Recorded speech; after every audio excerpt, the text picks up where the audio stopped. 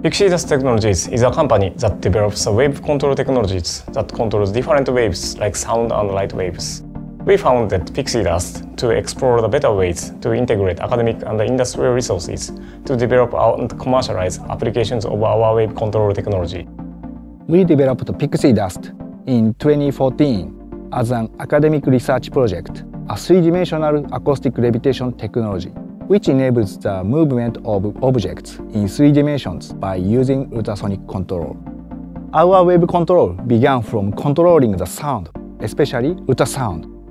We have continued to work on overcoming the challenges in manipulating waves. This is done by improving the efficiency and performance of the computer processing required to control waves and by making the circuit boards more sophisticated.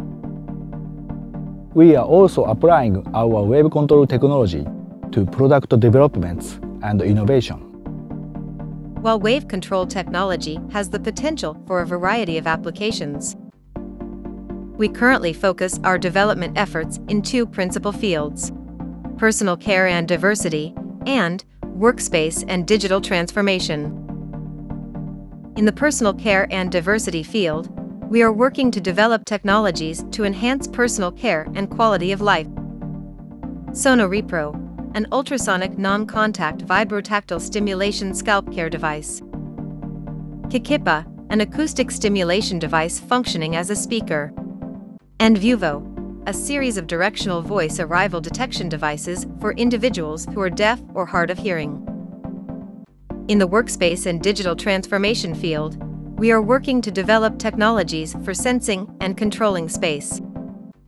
We launched iwasemi, a sound-absorbing acoustic metamaterial. Additionally, we are continuing our development of Hokkei, a location positioning technology, and Kodawari, a technology providing spatial analysis data. Since our company's inception, we have actively pursued industry-academia collaborations to generate new technologies that can be applied to real-world uses. We have also sought to accelerate the commercialization of the new products by collaborating with established companies in the relevant industries.